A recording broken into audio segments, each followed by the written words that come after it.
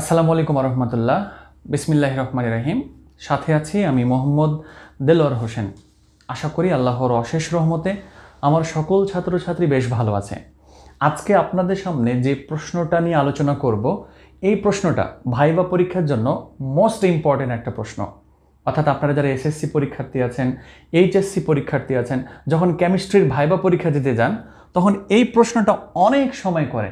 And অনুধাবনমূলক প্রশ্নতে তো অনেক বেশি এসে থাকে এই দুটো প্রশ্নই। কেন আসলে ক্রোমিয়াম এবং কপারের ইলেকট্রন বিন্যাস ব্যতিক্রমধর্মী? একটু আসেন। খুব সহজভাবে আপনি জানবেন ইনশাল্লাহ ভালো মতন শুরু থেকে শেষ পর্যন্ত ভিডিওটা দেখার চেষ্টা করেন। বেশ কিছু জিনিস শেখার আছে। যে জিনিসগুলো শিখে রাখাটা খুবই প্রয়োজন। একটু আসেন। ক্রোমিয়ামের ইলেকট্রন বিন্যাসের ক্ষেত্রে হওয়ার কথা হচ্ছে যে কি? Three D four and four S two খুব ভালো করে নজর দেবেন। ক্রোমিয়ামের ইলেকট্রন বিন্যাসের ক্ষেত্রে হওয়ার কথা হচ্ছে three D four four S two. But হয় যেটা, সেটা হচ্ছে three D five, four S one. But কেন? অর্থাৎ এখানে এই ঘটনাটা কেন ঘটল? একই রকমভাবে কপারের ক্ষেত্রে আমরা three D nine, four S two হওয়ার কথা, বাট হয় three D ten, four S one. কেন আসলে হবে এটা?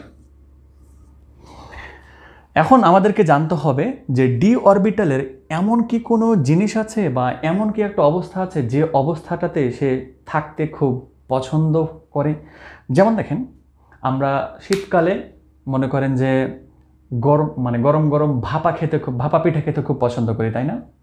তারপর যদি বর্ষাকাল হয়, বর্ষাকালের ক্ষেত্রে খিচুড়ি যদি হয় গরম গরম, খুব ভালো লাগে, তাই না? ডি কি বলে জানেন? ভাই, শোন, আমার দুইটা অবস্থা রয়েছে। একটা অবস্থা হলো যে ডি ফাইভ আর আরেকটা হলো যে ডি টেন। অর্থাৎ আমি যদি কখনো ডি ফাইভ হতে পারি, তাহলে সেটা হলো অর্ধপূর্ণ অবস্থা। এটা হলো অর্ধ পূর্ণ অবস্থা।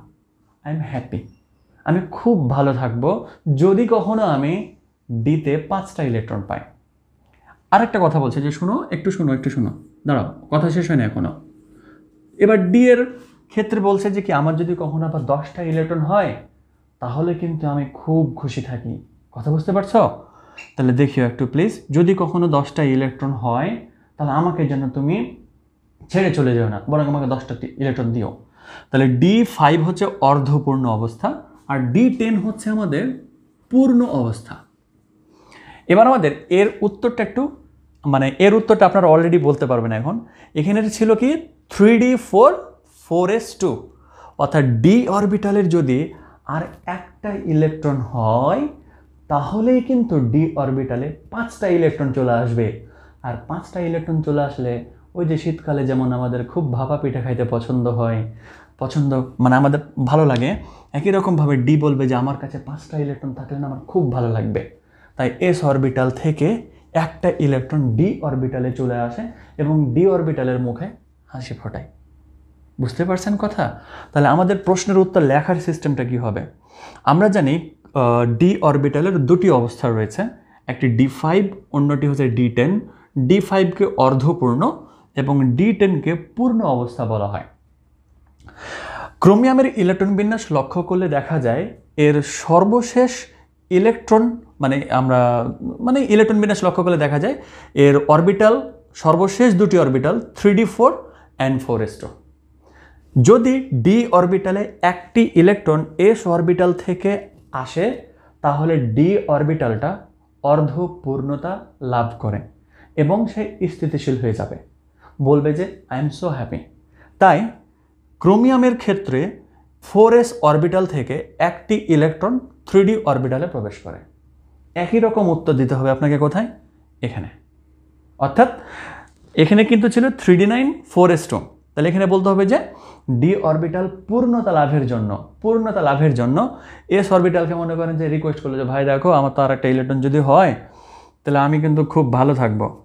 একটা ইলেকট্রন দেওয়া যায়? দাও, নাও, কি আর করব? ঠিক আছে, তাহলে নাও। তো এই যেখান থেকে একটা ইলেকট্রন এই অরবিটালে এখানে প্রবেশ করে। তবে এটা নিয়ে আরও বেশ কিছু কথা রয়েছে। তো আপনারা জাস্ট আমি যেভাবে বললাম, সেভাবে উত্তর দেওয়ার চেষ্টা করবেন। ইনশাল্লাহ আপনি এখান থেকে দুয়ে দুই নাম্বার পাবেন। মানে স্পেশালি আপনাদের এটা অনুধাবনমূলক প্রশ্নতে এসে থাকে। তো আশা করছি আমার স্টুডেন্টরা ক্রোমিয়াম অ্যান্ড কপারের ইলেকট্রন বিন্যাস ব্যতিক্রম ধর্মী কেন? অ্যান্ড আসলে কীভাবে এই জিনিসগুলো কমপ্লিট করা হয়েছে? সেই জিনিসটা বুঝতে পেরেছে আপনাদের যদি রসায়ন আসলে অনেক ভয়ের একটা সাবজেক্ট হয়ে থাকে। তাহলে আমি আপনাদের রিকোয়েস্ট করব, এই ভিডিও ডেসক্রিপশন বক্স চেক করেন। আর এই ডেসক্রিপশন বক্সে বেসিক কেমিস্ট্রি বলে একটা প্লেলিস্ট পাবেন। ওই প্লেলিস্টে আপনার প্রায় ষাট থেকে সত্তরটা মতন ভিডিও আছে। আপনি যদি একদম শুরু থেকে শেষ পর্যন্ত সবগুলো ভিডিও দেখেন, ইনশাল্লাহ আপনি রসায়নের প্রেমে পড়তে বাধ্য। আপনি ইনশাল্লাহ রসায়নের প্রেমে পড়ে যাবেন। সো আপনি আপনার ভয়কে দূর করার জন্য আপনি সেই চেষ্টাটা করতে পারেন। আমার জন্য দোয়া করবেন যেন আমি আপনাদের সামনে কিছু ট্রিক্স বা যে সমস্ত জিনিসগুলো বেশি বেশি ইম্পর্ট্যান্ট অ্যান্ড যেগুলো আসলে অনেকজনের মাথায় ঘুরে যা আসলে এগুলো কেন হয়, সেগুলো নিয়ে আলোচনা করতে পারে। আসসালামু আলাইকুম রহমতুল্লাহ।